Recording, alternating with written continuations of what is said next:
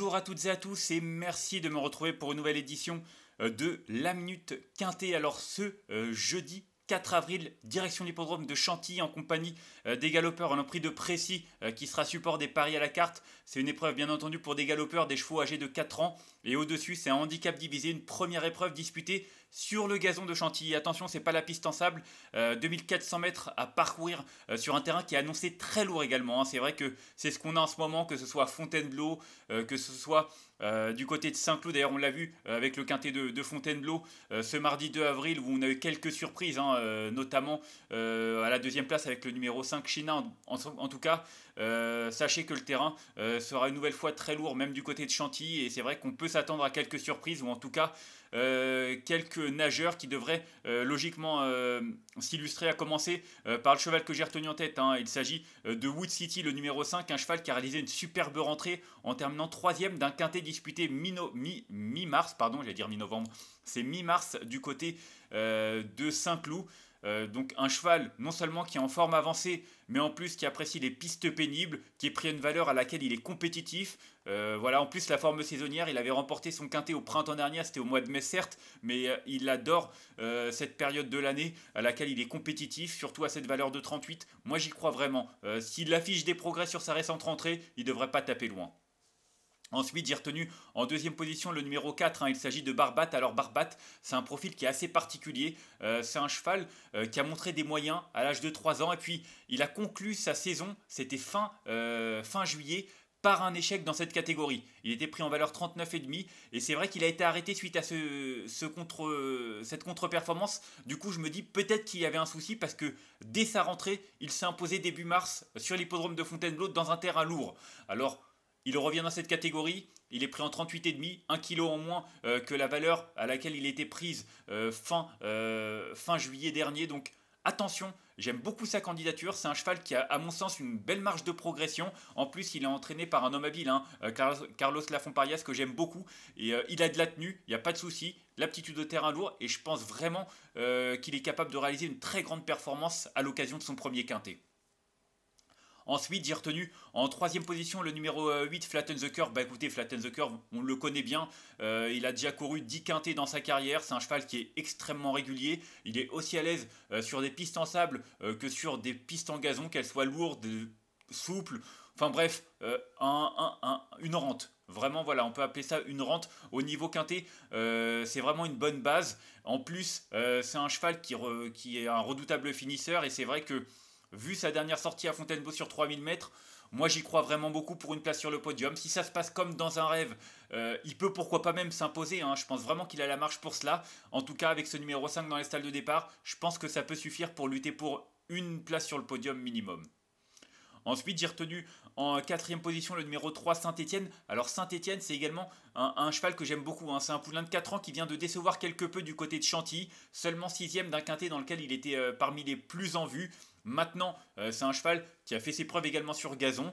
Euh, le seul petit bémol, enfin si ça peut, être un bémol, c'est qu'il est rallongé. C'est la première fois qu'il court sur une distance aussi longue. Et puis il n'a pas vraiment de référence en terrain lourd, mais euh, son profil, c'est que c'est un cheval qui est compétitif et qui va remporter son quintet cette année. Ça, j'en suis convaincu pourquoi pas dès ce, ce, jeudi. En tout cas, moi je vois plutôt pour une belle place plutôt que pour la victoire.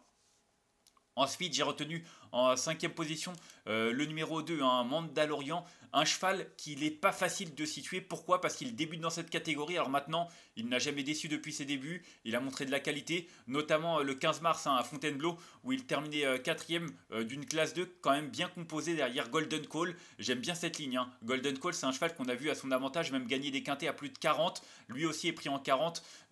c'est vrai que il a une course dans les jambes. Est-ce que, ça va suffire? Ça, c'est lui qui va nous le dire. En tout cas, attention, il est associé à Tony Picon, un homme en forme. Et euh, c'est vrai que pour son premier euh, handicap, premier quintet, attention, je pense qu'il est capable euh, de réaliser une performance de choix.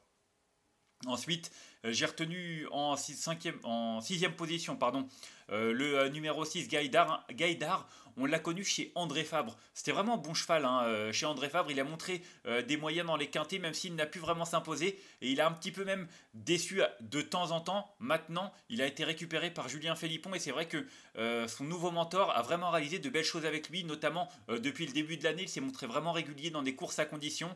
Et c'est vrai qu'il revient dans cette catégorie à une valeur qui est bien plus avantageuse. Hein. Il est en 37 alors qu'il a déjà fait l'arrivée par le passé en 39,5. Il y a quand même 5 livres de différence. Pour moi, ça peut justement faire la différence. Et euh, associé à Thomas Trullier, je trouve qu'il a une belle carte à jouer. C'est un bel outsider, même s'il n'y aura pas forcément euh, plus que 10-12 contre 1. Je trouve vraiment qu'il a une belle chance euh, à défendre. Ensuite, j'ai retenu en septième position le numéro 1 Kozaken Zipfel. Alors ça, c'est un petit peu l'inconnu également. Pourquoi? Parce qu'il fait sa rentrée. On ne l'a pas revu depuis début décembre. ça veut dire décembre, janvier, février, mars. Ça veut dire 4 mois d'absence. Euh, j'ai toujours un petit peu peur avec certains chevaux, notamment euh, ce profil-là d'un vainqueur de quintet euh, qui porte beaucoup de poids dans un terrain lourd. alors certes, c'est un cheval qui a montré qu'il était capable de bien faire en valeur 41. Il l'a montré en fin de, saison dernière, le 5 décembre, en terminant deuxième de quintet après avoir remporté son événement. Maintenant, voilà, en terrain lourd, j'ai des doutes. On l'a jamais vu sur une piste aussi pénible et c'est pour ça que je le retiens aussi loin. maintenant, René Pitulek fait le déplacement. Hein. c'est quand même pas rien. Maintenant, voilà, il y a du pour et du contre. Chacun fera un petit peu à sa sauce. Pour moi, euh, je préfère le retenir un petit peu en fin de combinaison en 7 position plutôt que de le voir plus haut, même si euh, sur sa meilleure valeur, il a bien entendu une très belle carte à jouer. Et enfin, en huitième position, euh, j'ai retenu le numéro 11, Maikis. Alors ça, c'est mon petit outsider, Maikis.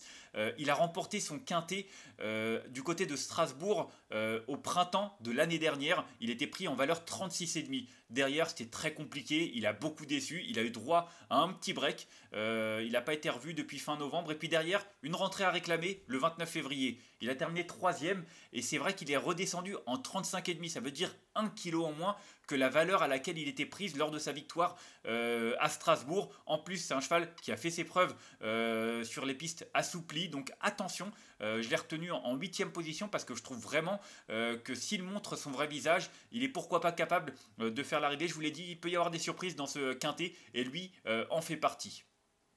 Et enfin, en cas de non partant, j'ai retenu le numéro 10, euh, le bugiste. Un petit peu difficile de, le situer, il vient de terminer 5 pour sa rentrée en terrain lourd. D'ailleurs, c'était une des courses références hein, le 2 mars, euh, puisqu'il était battu par Barbat et Gaïdar.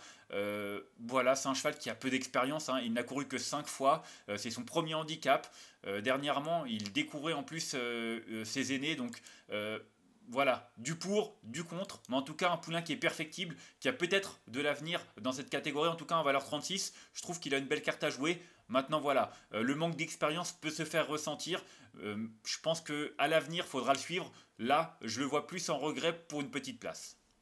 On va faire un petit récapitulatif de ma sélection avec le numéro 5 que j'ai retenu devant le 4, le 8, le 3, le 2, le 6, l'As et le 11. Et en cas de non partant, le numéro 10. Voilà en conseil de jeu. Bah écoutez, pour moi, euh, c'est vrai que Wood City, c'est la base. Le 4 Barbat, je pense vraiment qu'il a les moyens de rivaliser à ce niveau-là face à ses aînés. Donc attention à lui, je lui vois vraiment une toute première chance. Et puis euh, le numéro 8 également, Flatten the Curve. Je vous l'ai dit, pour moi, c'est la base pour les amateurs de quintet. Si ça se passe bien, il finit sur le podium. Si ça se passe un peu moins bien, il finira 4-5e. Ça va être une question de parcours. Mais en tout cas, euh, c'est un cheval qu'il convient vraiment de retenir très haut dans une sélection. Voilà pour le quintet de ce euh, jeudi 4 euh, avril du côté de Chantilly. Une nouvelle fois, je vous remercie d'avoir suivi cette émission. N'hésitez pas à me laisser vos commentaires, hein, comme souvent. Euh, j'apprécie vous lire régulièrement.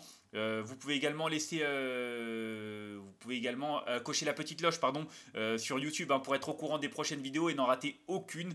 moi, je vous retrouverai dès demain, vendredi, ça sera certainement du côté de Vincennes en compagnie des trotteurs. En attendant, je vous souhaite une excellente journée et de bons jeux à tous. Bye bye.